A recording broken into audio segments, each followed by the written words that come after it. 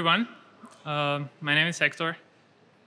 Um, today I would like to talk to you about the technology um, behind IPFS and how it works in ways that are hopefully easy to understand to people that are not extremely technical or people that are new to this kind of technology. Uh, the first thing to mention is that IPFS is made of many parts that are themselves part of a wider uh, ecosystem. For example, the networking layer on IPFS is called libp2p. And libp2p is not only used for IPFS, but it's also going to be used for things like the second version of the Ethereum blockchain. IPFS, um, we see it as a building block in the journey towards a better web, which will be a peer-to-peer -peer web. Um, we see two types of advantages in this type of uh, distributed web. Uh, on one side, we think that in a world which is more and more connected and where digital data plays a bigger role, um, distributed systems um, provide the technical advancement that allows to actually address the challenges of the future. On the other side, we believe that data should be free and that distributed technologies can be used to return the power to the users, um, splitting and removing it from larger actors like corporations and government. Uh, given that we all run a fantastic computer that it's normally in our pockets, and that we use it to produce data and to send data around, uh, it is weird that that data has to travel through a third party that will copy it, that will analyze it, that will monetize it before it travels back to the actual destination, um, which is the users that are interested in that data. So we think that there should be a way which actually can avoid uh, that part. Um, IPFS is not the answers to all these problems, but it is, the, it is the answer to some of them. And as I said, it's a building block on what we see as the next uh, web generation or what we call Web3. Uh, what is exactly IPFS? Uh, it's the interplanetary file system. So let's start with the file system part. What is a file system? Essentially, it's files and folders. Uh, just what you're used to, any file, and files inside folders, and folders inside other folders. Uh, why interplanetary? Because it was conceived as, as a way of upgrading the web in, in a way that you will not have to do anything special if you have people accessing the web from Mars and they want to open a website and it's okay, a, a, request from Mars is going to take one hour to go and come back to Earth to actually reach the server, obtain the content and copy and retrieve that response. If someone is accessing the same content from Mars again later, they shouldn't have to come back to Earth to obtain that content again. The actual network, the actual web protocol should support that if the content is already available on Mars, uh, it should come directly from Mars without having to do all this round trip. So this is why the interplanetary name is in it. It's like how do we upgrade our, our networks and our protocols in a way that they can um, work better with these uh, sort of uh, challenges.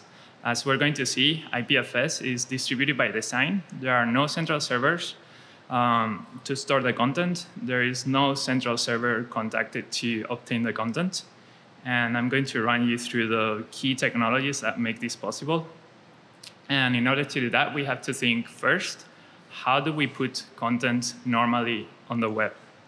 Uh, typically, when you want to put something on the web, you want to upload that content somewhere.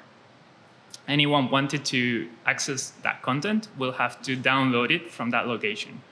Uh, with IPFS, things are slightly different. In IPFS, you run an application called the IPFS peer, and you become yourself a server.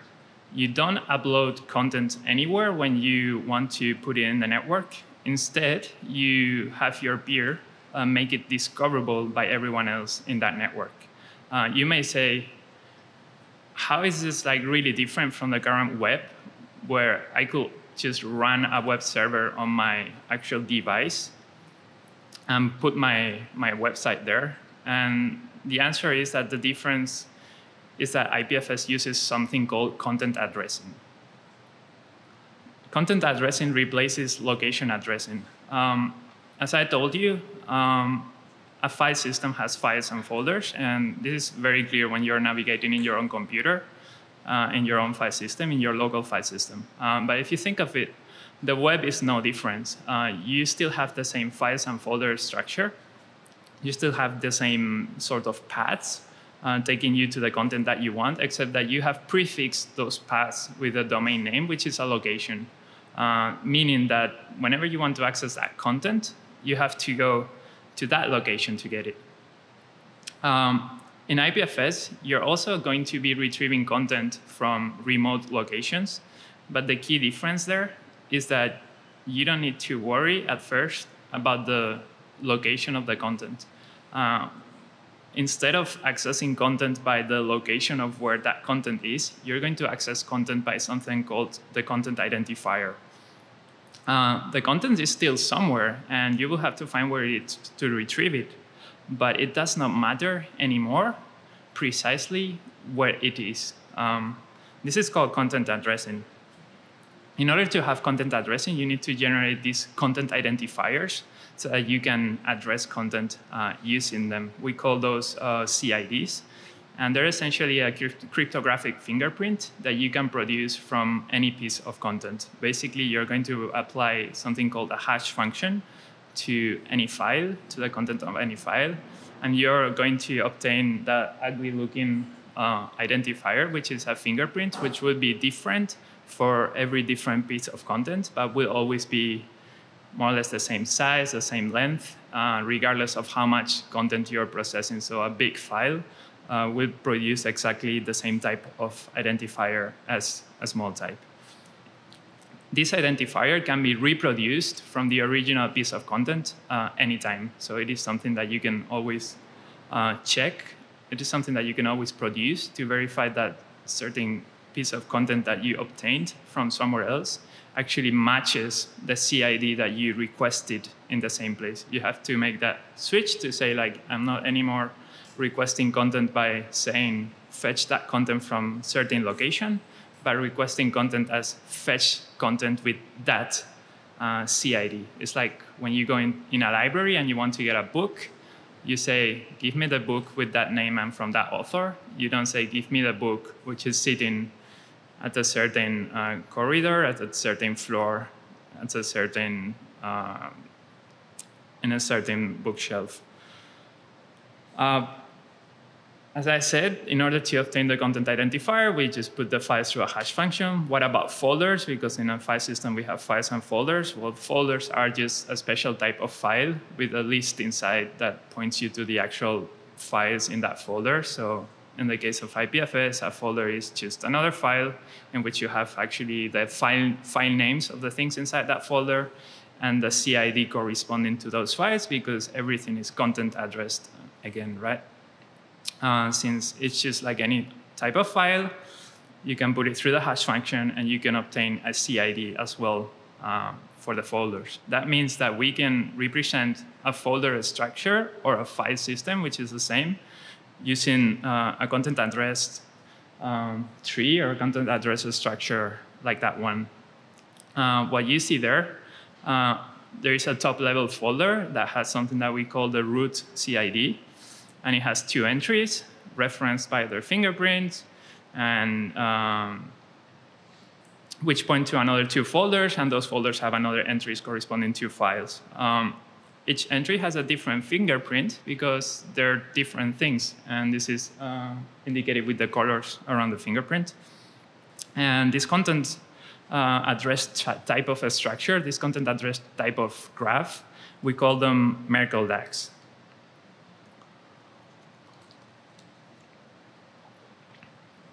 Um, Merkle DAGs um, are used by IPFS because they allow you to move from this location-based addressing to this content uh, addressing uh, thing in a single step. So by replacing the location with the root CID, you can then keep your paths just like as they were before.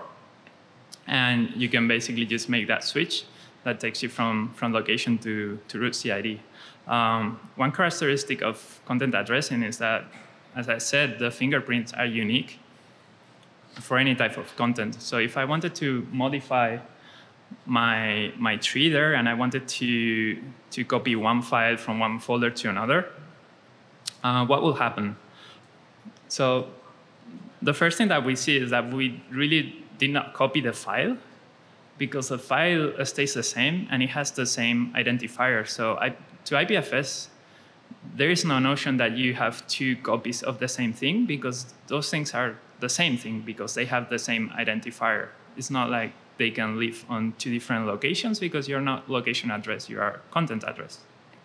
Um, this is a property that we call deduplication, and IPFS gives you a, a very good framework to start taking advantage of, of, of such property to actually uh, save uh, disk space when you have many copies of what is essentially the same thing with small differences. Uh, secondly, what, what did change is the folder into which we made the copy. We added a new element to that folder. That means the fingerprint of that folder changed. That means the folder that was referencing that folder uh, also needed to update the fingerprint to the new fingerprint. So the, the root fingerprint in the end um, ended up ch changing. If I switch back and forth, you can see the colors uh, flipping. Um, the moment something changes, you get a completely different CID. Uh, your previous CID still references the content as it was before, and that has not changed.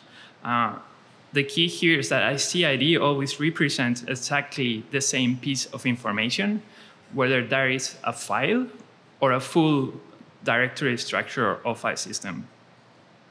Um, this unlocks the capacity of doing verification for any piece of data and makes IPFS a very good framework for things like append-only storage, things like blockchains or data archives. Uh, in fact, as you saw there, a blockchain is just a type of Merkle DAG because each block has a hash that references the previous block in the chain. Um, so content addressing comes as a nice replacement for location-based addressing, and you can sort of drop it in and have folders and paths in a very similar way or precisely the same way uh, that you do on regular addresses. The first step when adding content to IPFS is actually that, is to get the content identifiers that identify their content. The second step is uh, to actually announce to the network, to the IPFS network, that you are providing uh, certain content that matches those content identifiers.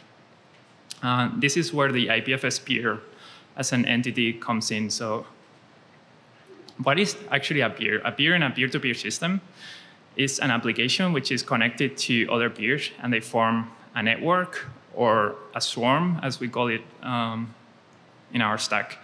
Um, you can forget for a moment about IPFS in particular and things about peer-to-peer -peer applications in general. And, and there are certain features which every peer in a peer-to-peer -peer application should have. First, it should have a name. Um, ideally, a unique name which identifies that peer in front of the whole network. And in practice, that those names are linked to a cryptographic key that allows to have uh, secure communication between two peers in the network.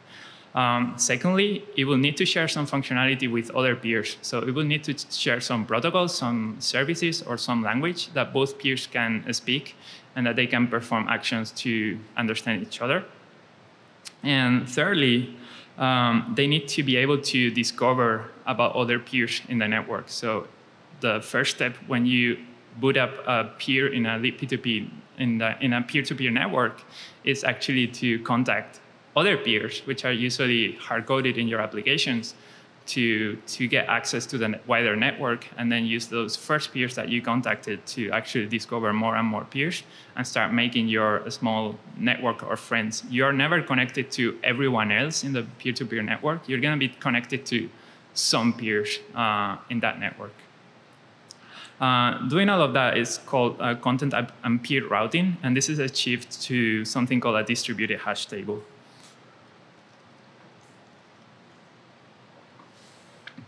Distributed hash tables are a critical service um, in peer-to-peer systems normally, uh, not something IPFS specific, but rather a building block uh, that you use when you want to have a peer-to-peer database um, which can be huge in size.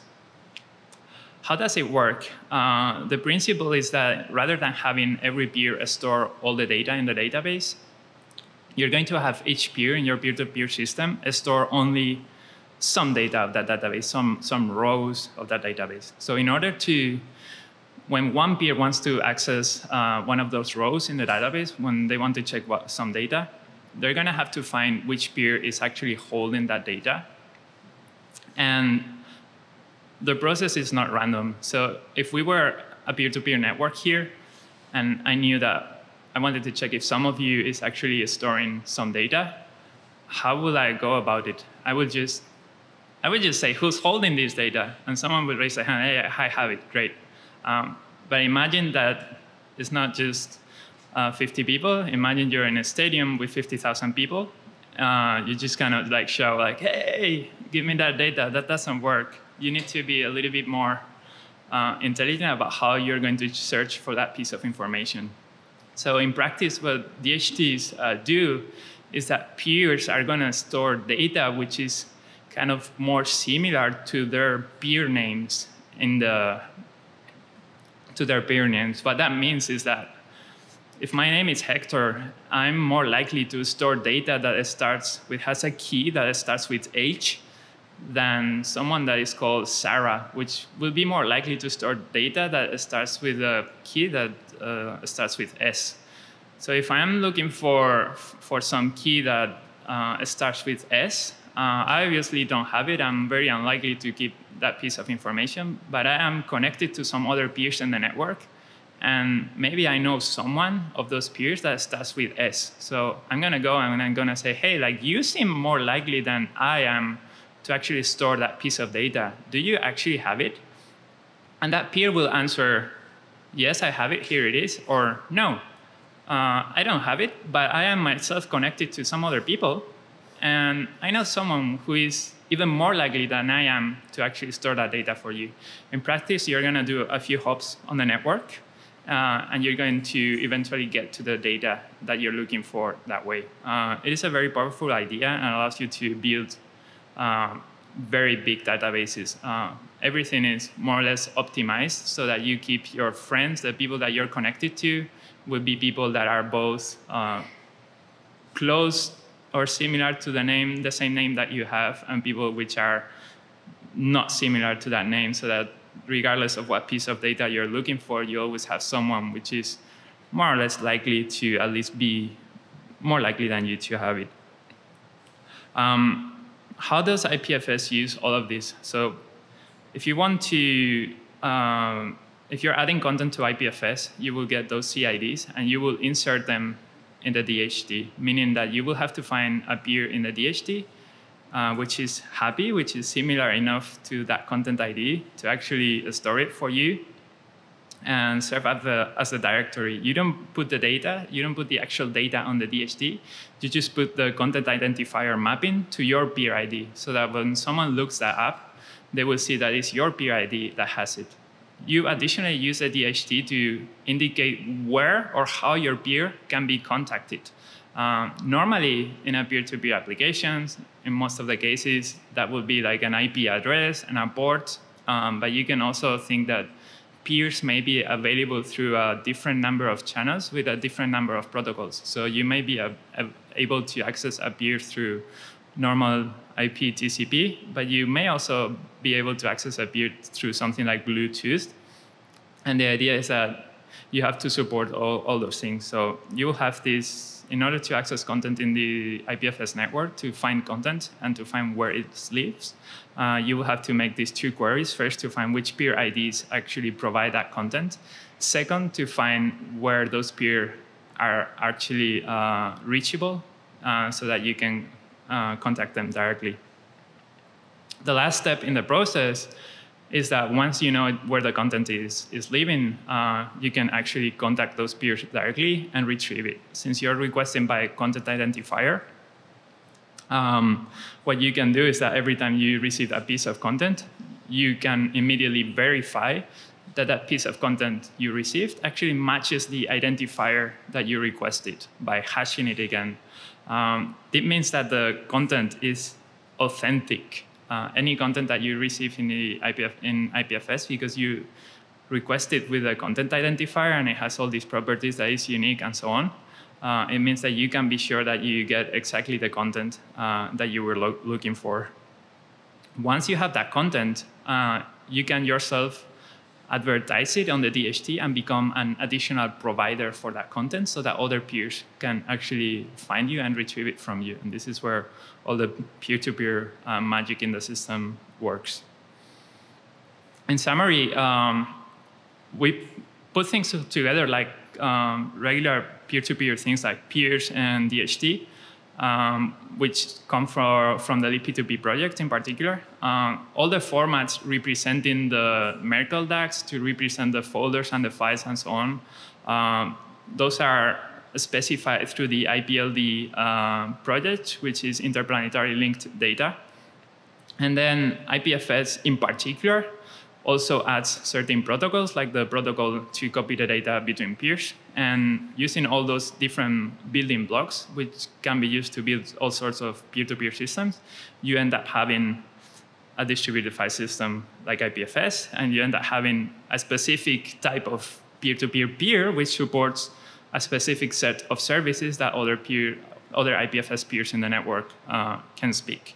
Uh, additionally, that peer will provide an HTTP API so that other um, applications can build on top of it and can control it and can communicate with it and a few other things that I'm going to show. The key facts, the key facts here is that all content is authenticated, uh, that you always get what you requested, that there are no central servers, everything is distributed, and that content is always downloaded on request. There is no one pushing content to you, you have to request it first uh, to become a provider for that content. Adding content does not require uploading. Uh, you don't even have to, to have an, an active internet connection at that moment because adding is just the process of getting the CIDs.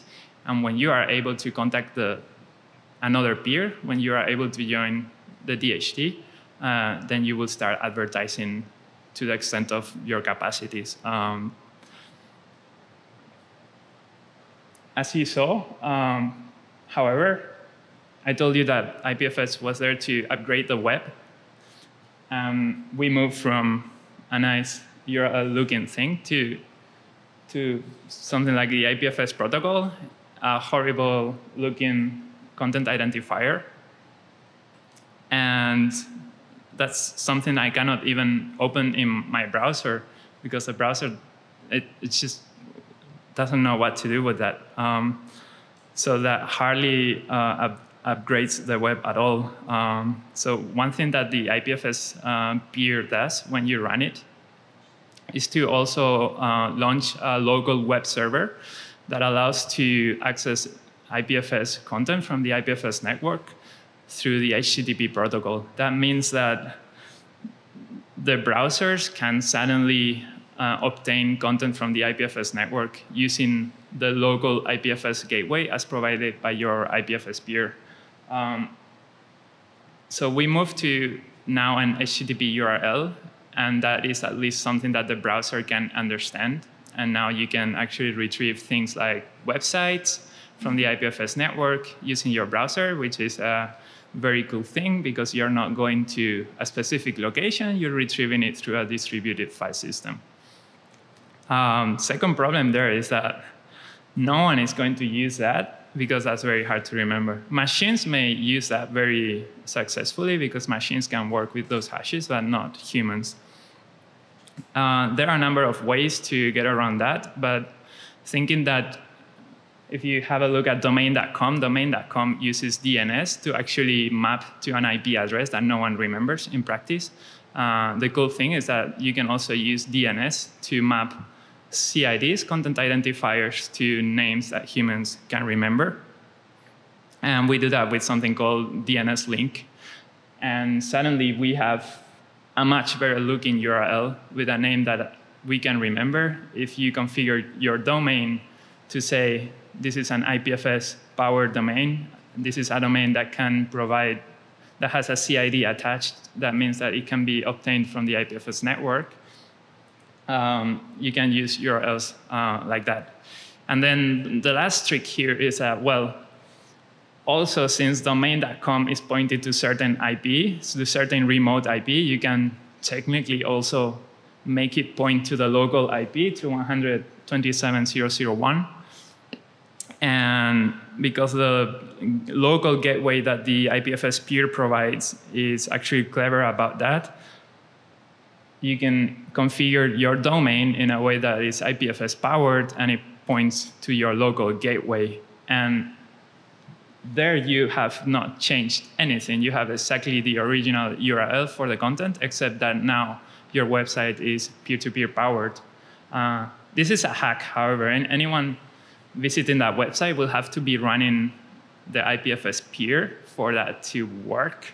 So um, it is an upgrade path, but it's not very smooth. Um, what we do in practice is to have something called the public IPFS gateways. We run public IPFS daemons, uh, offering these servers um, publicly to the outside. And what you do in practice is to configure your domain to point to the public IPFS ser servers.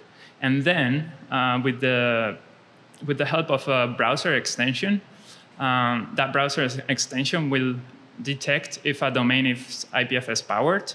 And if you're running the IPFS daemon, or it can run it for you in the browser, it will actually fetch the content through the IPFS network. But if you're not running the IPFS daemon, if you're not using the browser extension, uh, it will use the public gateways to obtain that content, which using the public gateways uh, becomes, again, a location. It's not peer-to-peer -peer anymore.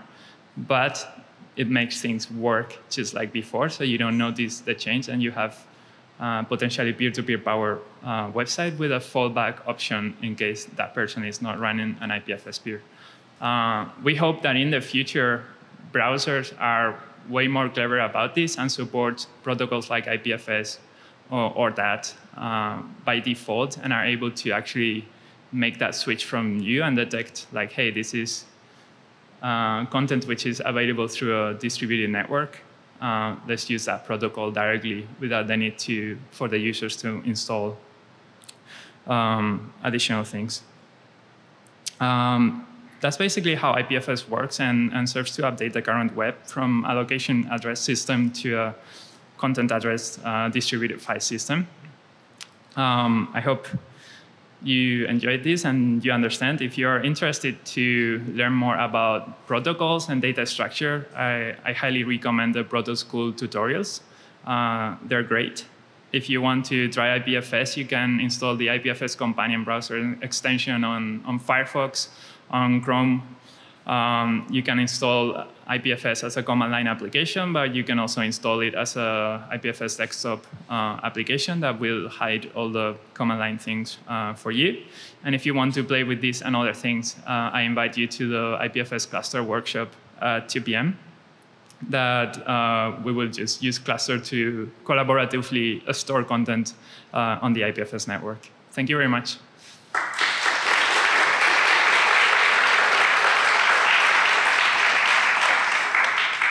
So we have time for questions. I'm wondering if people have an immediate, I see one over here. Great.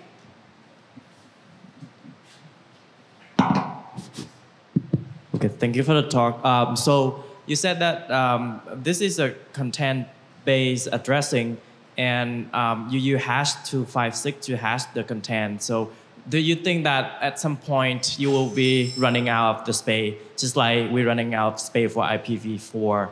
Um, say I can just take two to the power of two five six fives and hash them and put it on IPFS, and other people won't be able to make any other files because I take all of the space.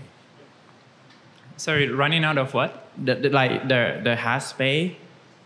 Uh, you know, you will never run out of the hash space. The main problem there is that maybe the hashing function has some security vulnerability that hasn't yet been discovered that will allow people to create the same hash for two different pieces of content. This has already happened with um, other hashing functions. And therefore, you're, you cannot uh, ensure that the content that you're receiving is authentic, authentic because you may have several contents producing the same, the same content identifier.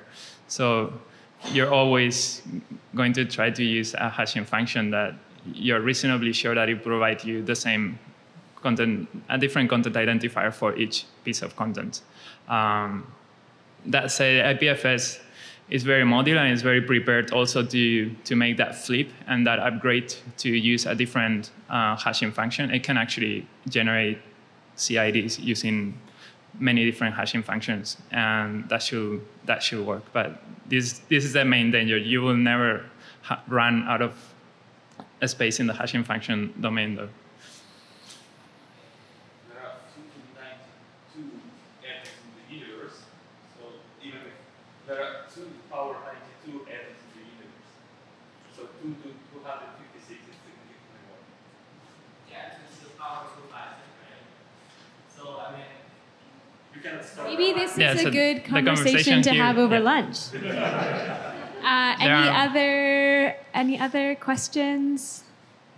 I see one here. Hi, uh, this might actually be on a different level of the stack, but how do you deal with uh, content that has like versions or the concept of like, give me the most recent version of this content? Um, uh, I see this as a, something that you build on top of IPFS. IPFS offers you facilities to do that. So we have something called IPNS, which um, instead of associating your CID uh, to the content, you associate like a signature of, of the content that can point to different CIDs in time. Uh, you can also use and update a DNS record to point to new versions of content by updating uh, DNS. And you can also uh, work through that using uh, gossip systems. Like every time you update the version, you basically broadcast a gossip message to the to the network. Um, so there are several strategies.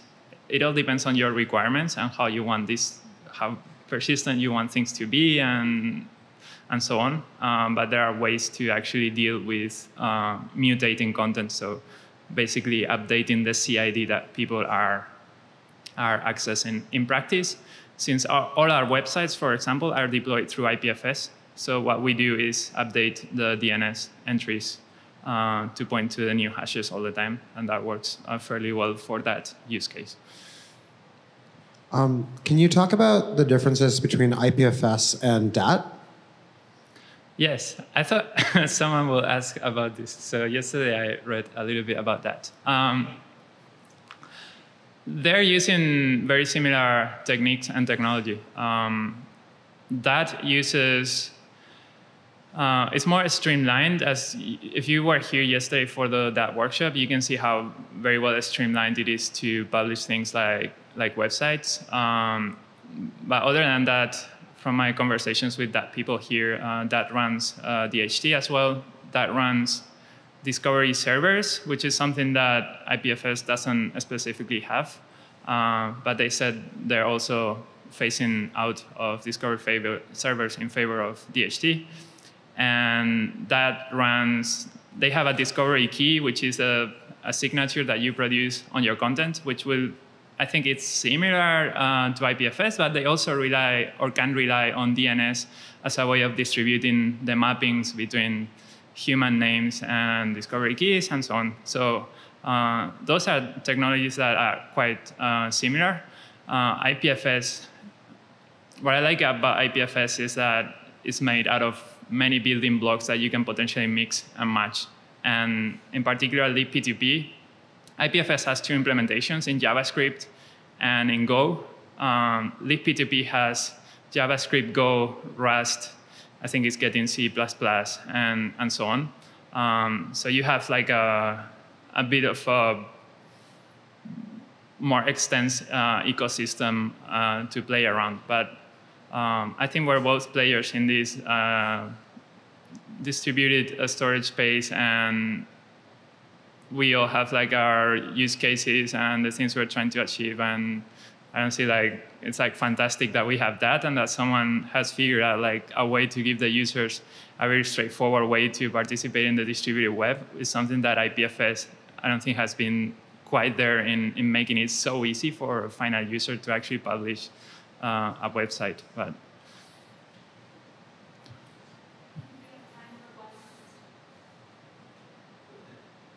Thank you for the talk. Um, so for the second year, we're running an IPFS live stream, which is awesome. But we've always been running into some issues with IPFS. Um, this year specifically, it seems that the network has gotten slower, uh, where we need a response time of about less than 40 seconds. Um, and if we try accessing a chunk from somewhere else in the network, it takes several minutes. Um, is this something that's being addressed? Um, and if so, yes. Um, since a few months ago, we saw a huge increase in the number of peers in the IPFS network. That means a huge increase in the number of participants of the DHT. Um, however, in real world conditions, uh, in, a, in a happy world, you're always able to contact any peer and they're all reachable and they'll do what you want them to do. In the real world, you may try to contact a peer and it's no longer there, or is behind NAT, or has a problem, or you have a bug in the code. Uh, all those things together, because the, the number of participating peers in the network went up significantly, uh, made uh, the DHT uh, become significantly slower. And this is all being heavily addressed uh, many improvements have happened. Particularly, users notice this when accessing content through our gateways because gateways are IPFS peers. And if gateways are primarily used to obtain, obtain content from the IPFS network, um, people notice immediately that it is very slow or that that is not working. And this is all uh, getting worked on. Uh, we're working as well on setting up a lot of testing infrastructure to actually verify that every change that we make to to things like the DHT code, to things like the Bitswap code, uh, is actually um, producing improvements and not uh, going back. Something that is extremely difficult in peer-to-peer systems, especially when you are trying to test as, at a scale of, we're talking many, many thousands uh, many, many thousands of peers in a network, uh, potentially up to hundred thousands of peers in the network. So um, this is getting worked on, but it's also not super easy. But uh, change, changes and fixes are dripping through slowly if you if you follow up the development. And thank you for running IPFS streaming. It's like super cool that you're doing that. Okay, let's give Hector another round of applause.